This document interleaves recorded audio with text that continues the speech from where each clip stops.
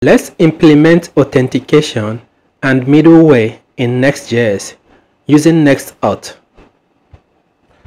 What I have is a Next.js project, but I've added three pages, two inside this part and one inside this part.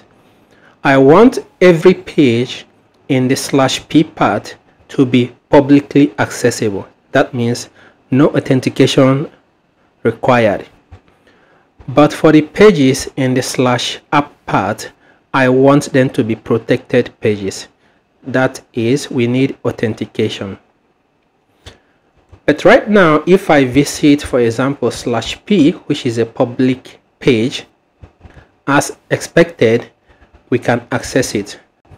But when I visit slash app, unfortunately, we can still access it because there's no authentication right now. And finally, if I go to slash app slash users, we can still access this page and get the users list even though we are not authenticated. To implement the authentication, let me go ahead and install NextAuth. So npm install NextAuth. Now I can go ahead and configure the authentication. NextAuth has different providers you can choose to configure depending on how you want the users to log in to the application. For example, you can use Facebook, you can use Google, Keycloak, and so on and so forth.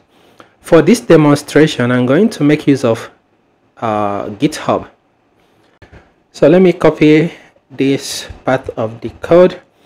I will go over to my code. I want to create a file and add the configuration there. Let me also have a folder. And then this file you can call it anything. Let me call it auth options .ts so I just want to export the next auth configuration from this file. I'm going to say import going to import some stuff from next auth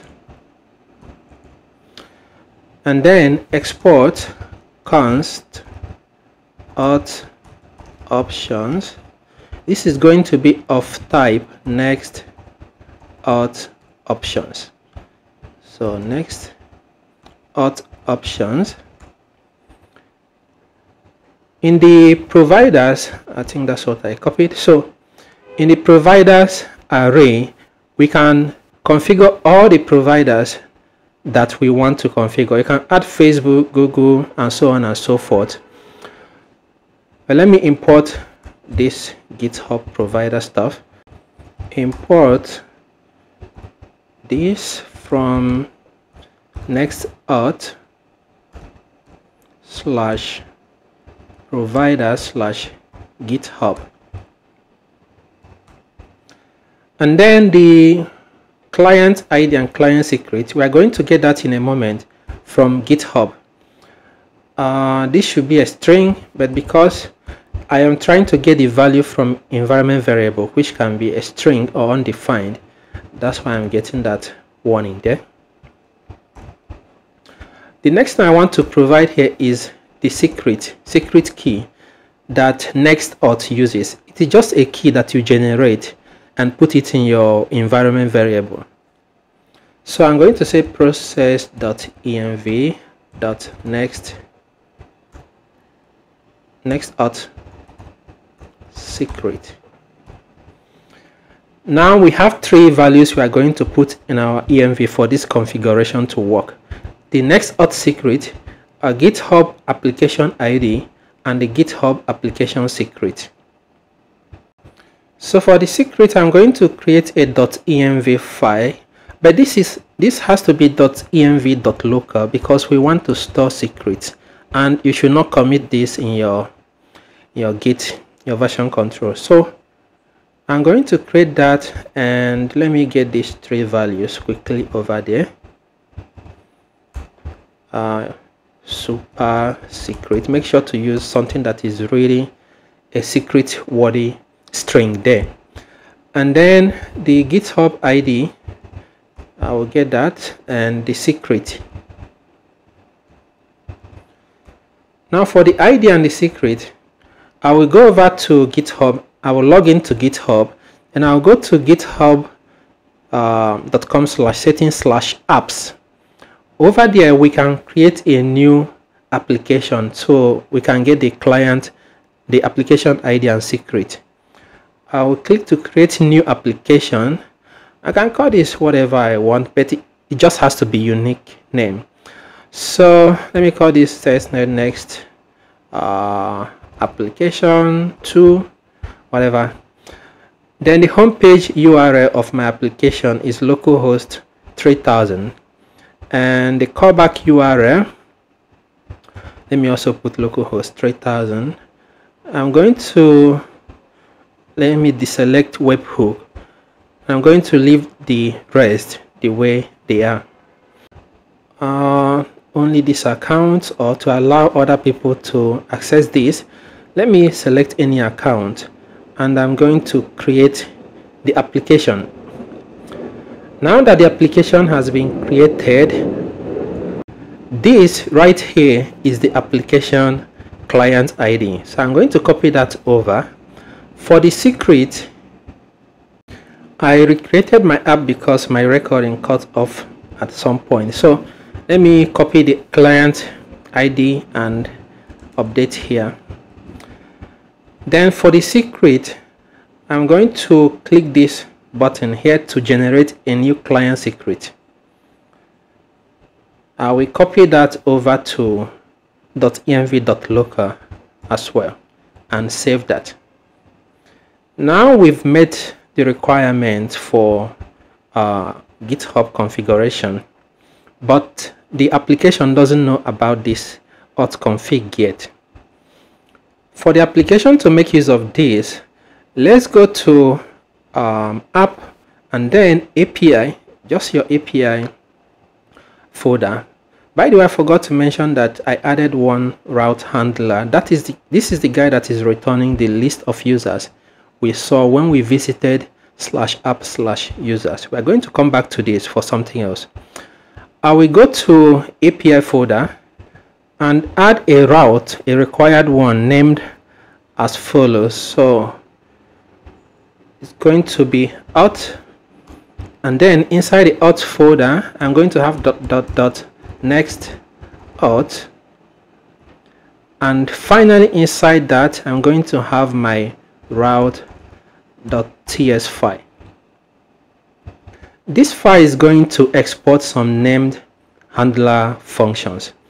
What I'm let me just import next auth from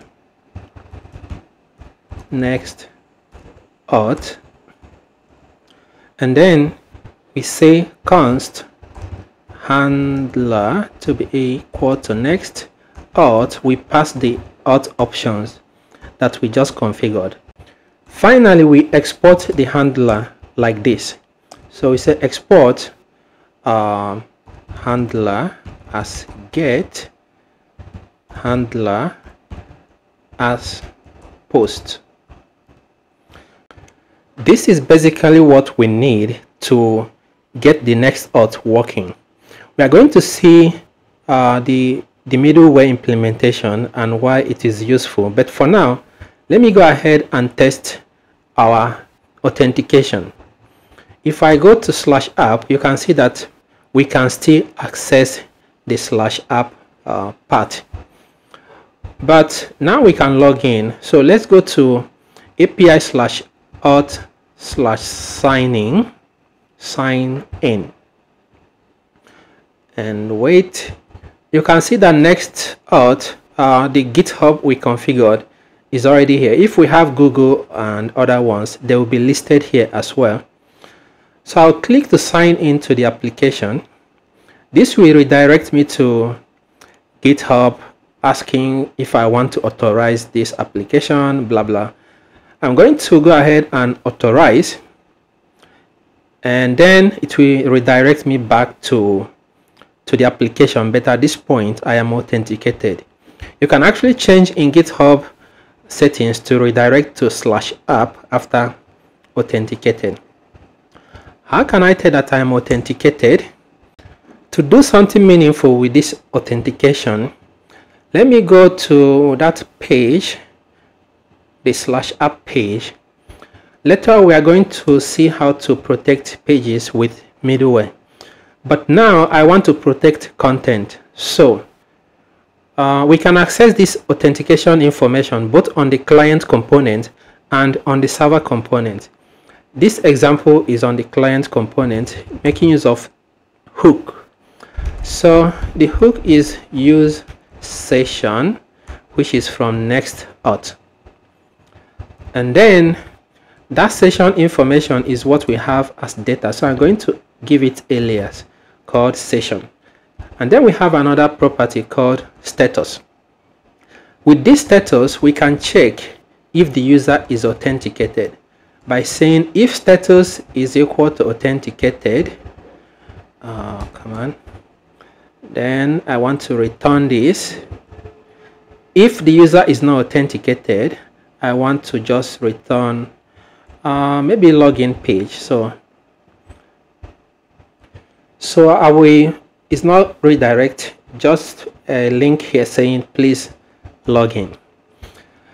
In addition to this we can get the authenticated user information from this object right here. So let me come here and display the name of the user. I'll put h3 here name or username session dot user dot name all right this error occurred because we need to wrap the component with the session provider from next auth let me quickly add that Alright, I had to pause a little to make this a bit faster. What is happening here is just to import this session provider from next auth and then React Node. Uh, this is just for something for the children. This is going to export, is going to return the session provider, but we are going to pass the session, which we are going to see when we go to layout to apply this to the to the provider. Then I'll head over to layout where we're going to apply this provider. And then the session we are going to pass to the to the next auth provider. Let's call this session to be equal to get. We can't make use of the use session here because this is not a client component. So we are going to say get server get server session this is how we access that same authentication information on the server side. If the user is not authenticated, this guy is not going to be defined. I think undefined or no, but it's not going to be available. Now I will wrap these children with next auth provider that we just created. Not there. This is expecting the session so we pass the session object. But what I want to do about this session is, uh, okay, this is going to take auth options. But instead of having this and importing and passing around auth options all the time, I'm going to configure just something that returns the session object for the server side usage. Let me go to this auth options file and export the session object this this is what you also find in the next auth documentation It just doing something similar to what we have when we said get server session. I'm going to import the missing stuff. So anywhere on the server side i can just let me show you an example here. Instead of all this get server session and importing the auth option just going to import that guy. Import auth and it is that straightforward. I can remove unused imports here. Now let's go back to the page and so we we have a different issue because this provider this supposed to be on the client side. That is even another reason I didn't want to just apply this straight on the layout. So we're going to say use client and hopefully that should solve the problem okay. Now you can see that we have the name of the authenticated user right here right? If the user is not authenticated let me go ahead and visit the sign auth and um, url so api slash out slash sign out it is going to ask us to confirm. I'm logged out now. Now if i go back to slash app you will see that we just get the message that says please log in. Because that's what we have here. If i go to app if the user is authenticated show the username otherwise say tell the user to log in. But what happens when we go to the slash app slash users page? Remember we don't want to see the list of the users unless the person is authenticated. But if I go now you can see that we have the list of users I will use the server side to to apply that check before we go to middleware. So I'll go to API and then this is users.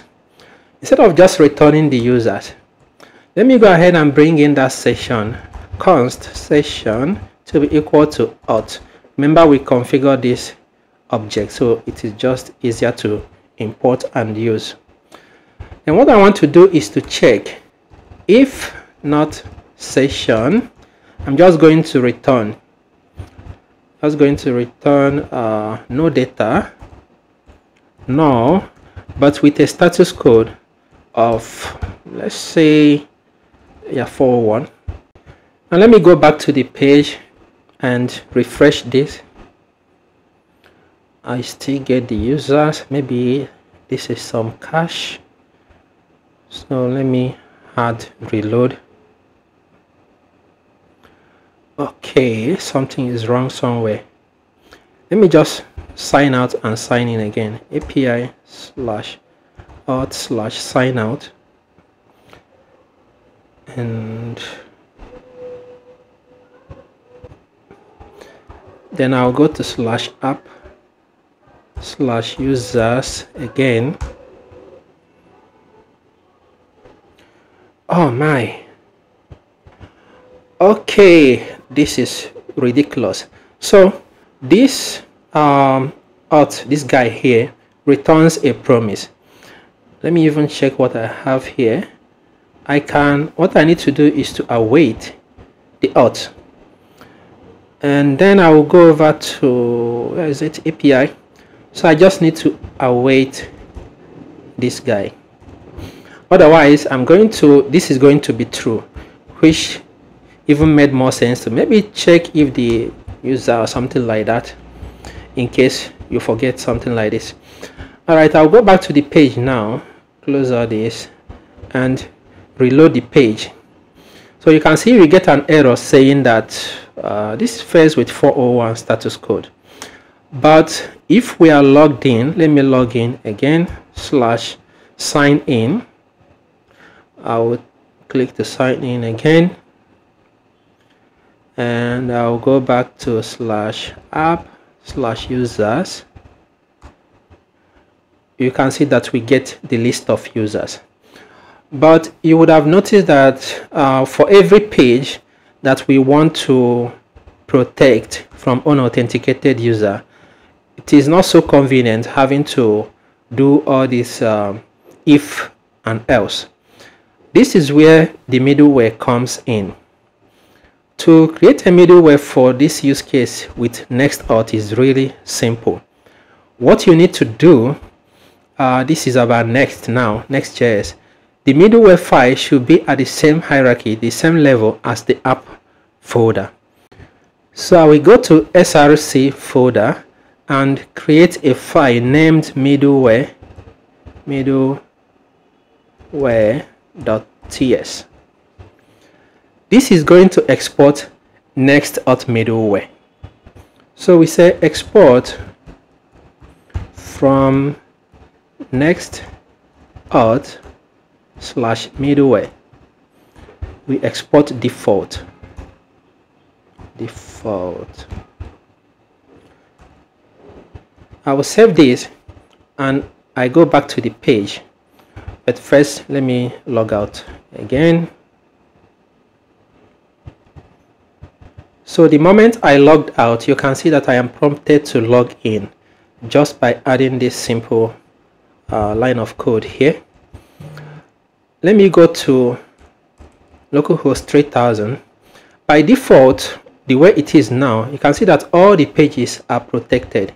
Even localhost 3000 redirects me to login but what we want to do is to protect some selected pages back in this middleware file let's export a configuration. Uh, export const config to be equal to.